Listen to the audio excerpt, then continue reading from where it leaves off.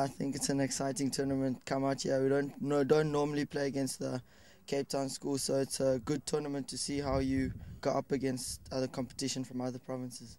Yeah, it's nice to come out here and to Graaff-Reinet, see the beautiful landscapes, but we come out here what once a year, I think, or twice a year. We come out here for the Union Festival in early January, and then yeah, once to play Union. So it's a nice place to come out and see. At home, we used to the pitches normally staying quite true and the ball coming on. I know um, what we found over the last four days is that um, the pitches have died out a lot quicker and the ball doesn't come on as quickly as you expect it to. It's not the ideal um, batting pitch. It's more like a bowling pitch. It keeps on low a lot. You don't really want to go in the back foot here. It's not really nice, but it's difficult. But you can post a big total here. I've done pretty average, not as well as I would have hoped, but yeah, hanging in there. uh, pretty well. Uh, averaging 30 at the moment, scored 250s this tournament.